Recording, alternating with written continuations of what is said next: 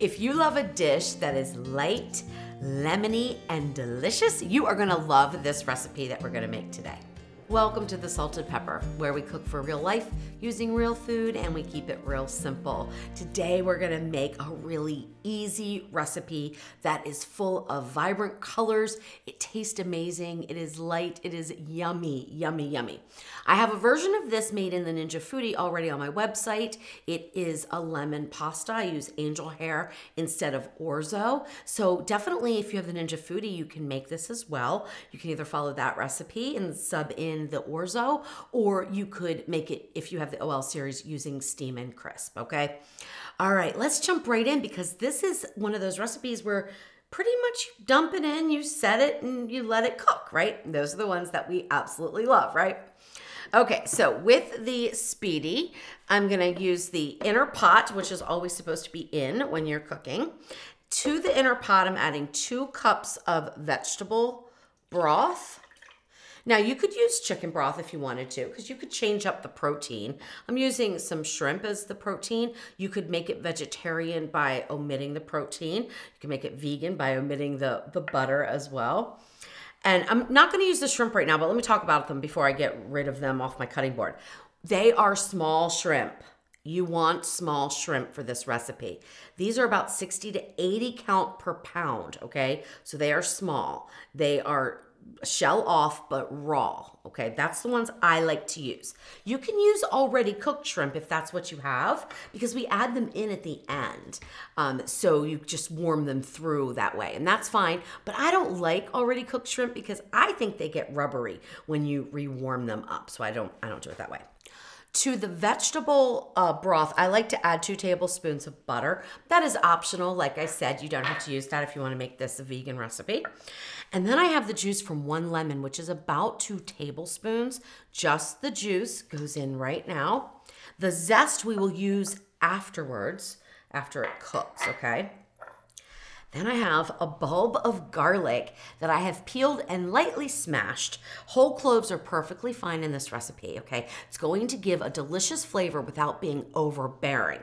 So use the whole bulb. Trust me on this one, it works. It's amazing. Of whole or lightly smashed garlic. Probably about eight to 10 cloves is what you want.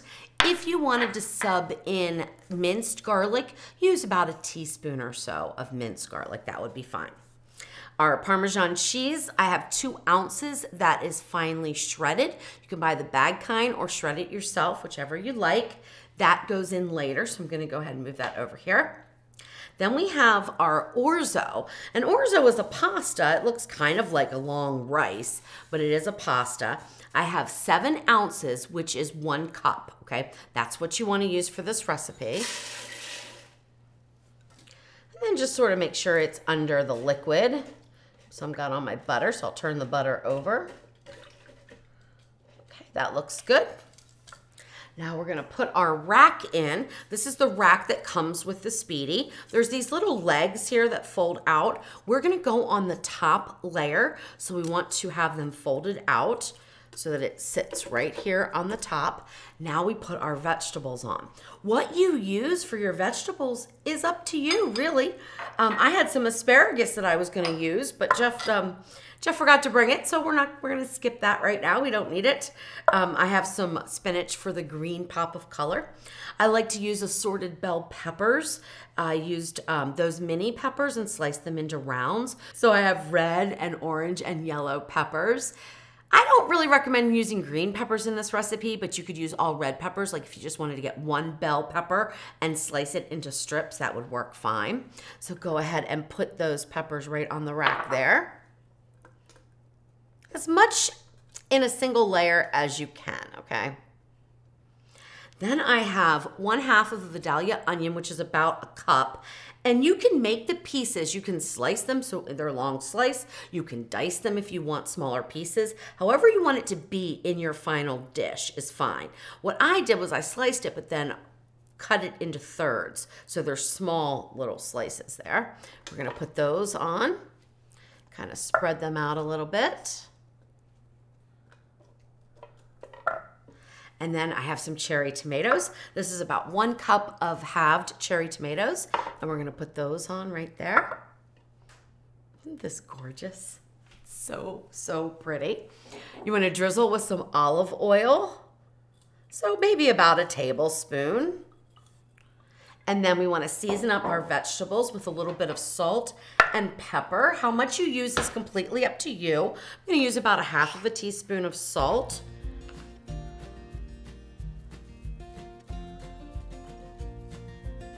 That looks good. And a quarter teaspoon of pepper.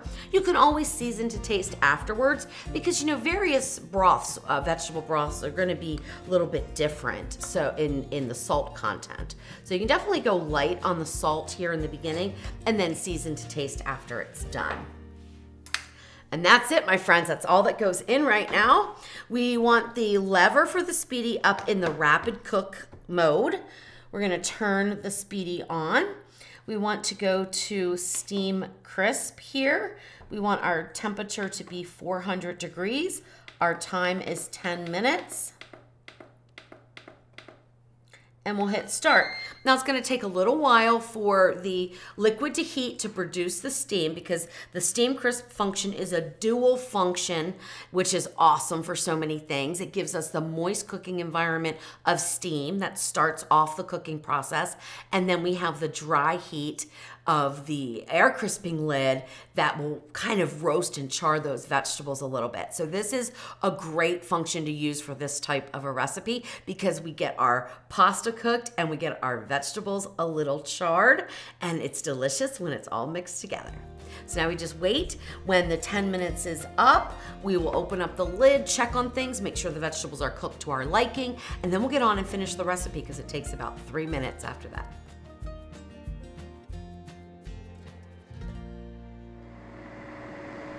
You should be starting to smell the uh, vegetables really getting that char on them.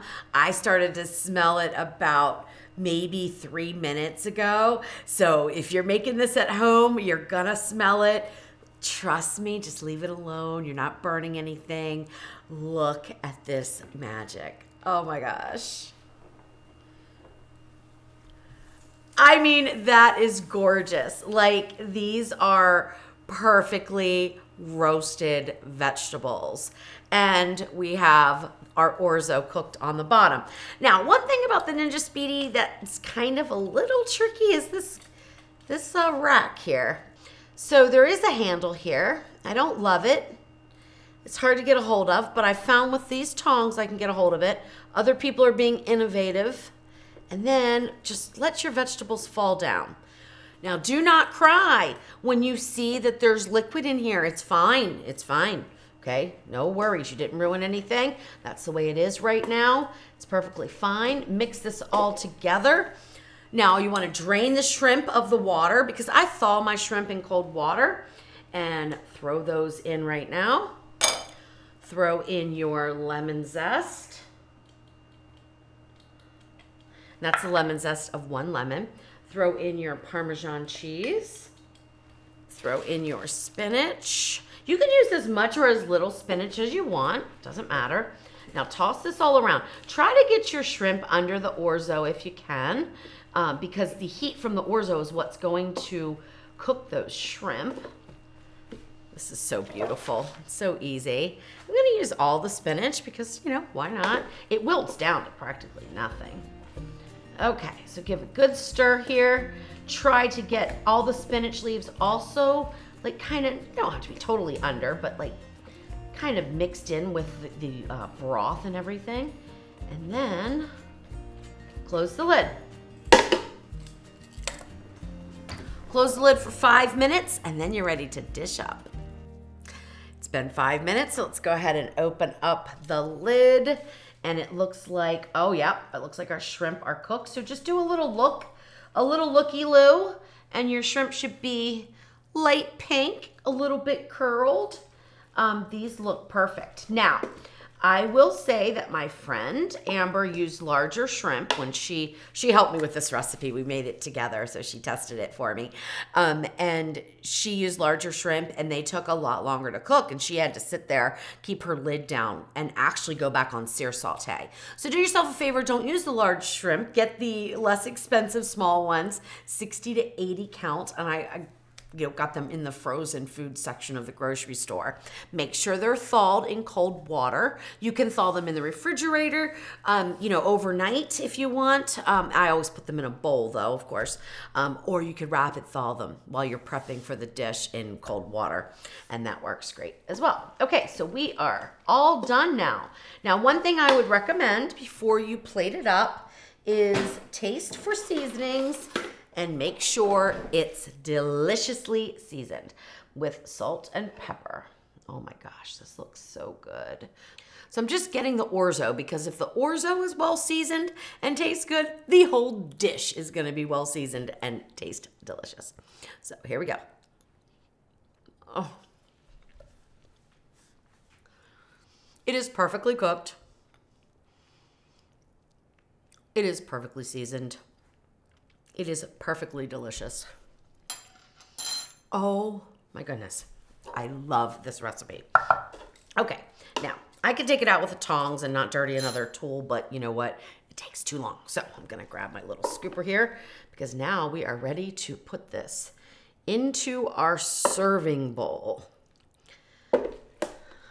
This will easily serve four people, maybe even six. Just depends on your appetite. Um, but Pro you know, actually, probably six. If you eat about a cup of it. Because I've taken about, what, five good scoops out? Oh my gosh. Isn't that beautiful?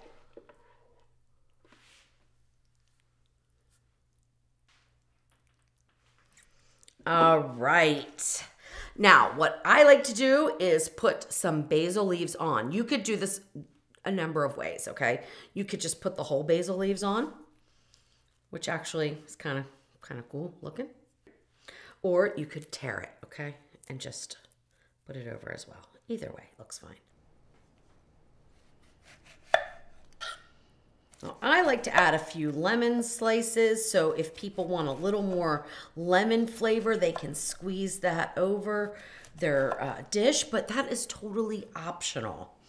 You don't have to go to this trouble. You don't have to buy a second lemon for this if you don't want to. Get the seeds out though. If you're gonna be serving guests, you don't want them to bite into a seed. And then just put it around the outside of the dish. There we go. That's so pretty. All right, let's dish some up because it doesn't matter what it looks like. It matters what it tastes like. So let me get in here. I'm to get a whole clove of garlic and I'm going to eat it right here on camera because I want to show you that it is not too pungent or spicy or anything like that. Ooh, speaking of spice, you know it would be really good is a little bit of red pepper flakes. If you if you like it a little spicy, add that. Okay, first thing, shrimp. They better be perfectly cooked. And they are. Oh,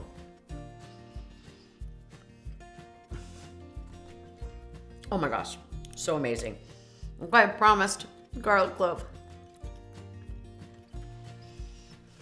Oh my gosh, the flavor is amazing. It's like roasted garlic.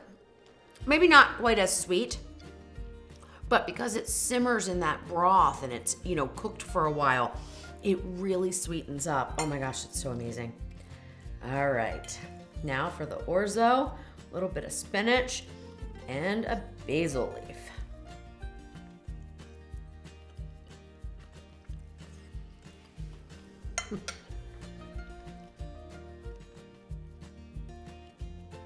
it's amazing. Oh my gosh, it is so, so good. This is one of those recipes that you can make to serve to guests because it's fancy. You can serve it any time during the week because it's quick. It's so refreshing. It's so delicious. It's light. Oh my gosh, I absolutely love this one and I hope you do too.